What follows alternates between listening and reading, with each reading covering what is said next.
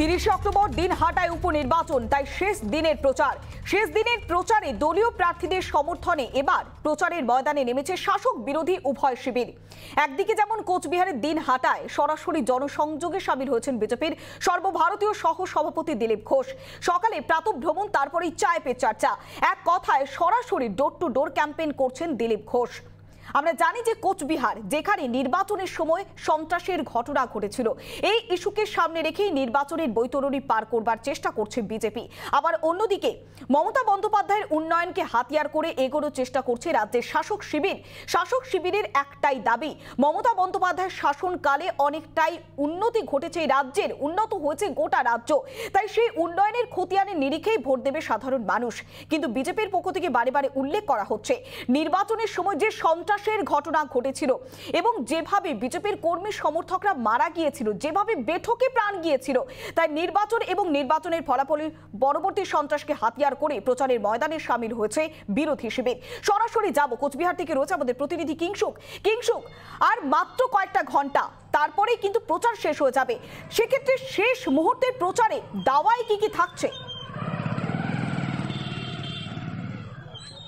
দেখো, তোমাকে আমি জানিয়ে রাখি, পৌলমি, যে গতকালের প্রচারের পর রীতিমতো উজ্জীবিত বিজেপির কর্মী সমর্থক থেকে শুরু করে নেতৃত্বরা ইতিমধ্যে সকালবেলা দিনহাটার বিভিন্ন প্রান্তে তাদের যে পথসভাগুলি রয়েছে, সেই পথসভার কাজ তারা যেটা অভিযোগ করছে, যেহেতু তাদেরকে মাইক দেওয়া হয়নি, গাড়ি দেওয়া হয়নি, তাই কোচবিহার থেকে তাদেরকে সব কিছু বয়ে নিয়ে আসতে হচ্ছে।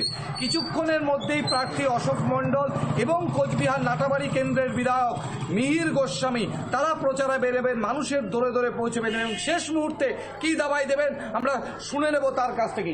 দাদা, একদম শেষ লগ্নে প্রচার। প্রচারে গতকাল ঝড় তুলেছে বিজেপি। একদম শেষ লগ্নে মানুষকে কি দাবাই দেবেন? কি বলবেন? মানুষকে একটা কথাই বলব, যে দিনহাটা সন্ত্রাসের নায়ক, উদয়ন গুহর বিরুদ্ধে মানসিকতাকে শক্ত করে বেরিয়ে এসে আগামী ত্রিশ তারিখ তাদের পবিত্র ভোট যেন প্রয়োগ করেন। এরই মধ্যে উদয়ন গুহ বিভিন্ন সংবাদ মাধ্যমে বলেছেন যে বিজেপি বুথে পোলিং এজেন্ট পাবে না। আমরা এর থেকেই প্রমাণ হয় যে তিনি এমন সন্ত্রাস সৃষ্টি করেছেন যে যাতে করে বিজেপির কর্মীরা রাস্তায় বেরোতে না পারে।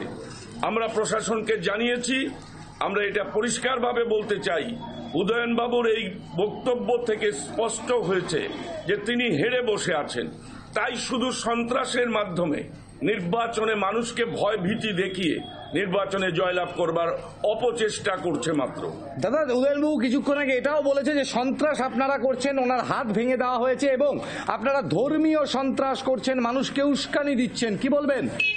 ধর্মীয় সন্ত্রাস যদি কেউ করে থাকে সেটা তো তৃণমূল কংগ্রেস। কিছুদিন আগে তৃণমূল কংগ্রেসের একজন মন্ত্রী মন্ত্রী তিনি দিনটায় এসে বিভিন্ন মাইনরিটি অধ্যুষিত এলাকায় ঢুকে যে ধরনের সন্ত্রাস করে গেছেন, সেটা মানুষের কাছে অত্যন্ত স্পষ্ট। এবং সেই সন্ত্রাসের বিরুদ্ধেই আমরা বিজেপি কর্মীরা ঐক্যবদ্ধভাবে তার লড়াই করছি। এখানে স্পষ্ট করতে চাইব বিজেপির পক্ষ থেকে স্পষ্ট অভিযোগ করা হয়েছিল যে কোচবিহারের বেশিরভাগ সংখ্যক মানুষ রাজবংশী সম্প্রদায়ের। আর সেই রাজবংশী সম্প্রদায়ের মানুষকেই ভয় দেখানো হচ্ছিল। এমন অভিযোগ তো বিজেপির তরফ থেকেই হয়ে আসছিল। রাজনীতি করছে। সনাতনীদের উপর যেভাবে অত্যাচার করছে। একদমই তাই। দাদা রাজবংশী যে মানুষের কথা কালকে বলেছে রাজ্য সভাপতিও বলেছে রাজবংশী মানুষকে ভয় দেখানো হচ্ছে তাহলে কি মানুষ ঘরে ঢুকে থাকবে না বেরোবে? আপনাকে তো জানেন যে উদয়ন বাবু এরই মধ্যে তার সোশ্যাল মিডিয়া এবং বিভিন্ন মাধ্যমে বলেছেন যে দিনহাটায় বাস করতে গেলে অধিকারী বর্মন রায় ইত্যাদি হতে হবে। তার মানে তিনি কি বোঝাতে চান? যে কুচবিহারের রাজবংশী সম্প্রদায়কে অসম্মান করা?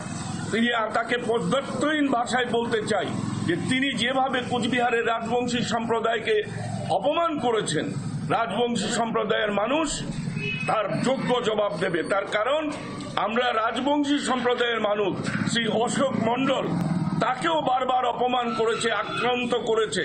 আমরা যেখানে প্রচার করতে গেছি, মাধ্যম দেখিয়েছে যে, প্রচার মাধ্যমের মাধ্যমে প্রকাশ পেয়েছে যে তিনি কি ধরনের সন্ত্রাস করছেন।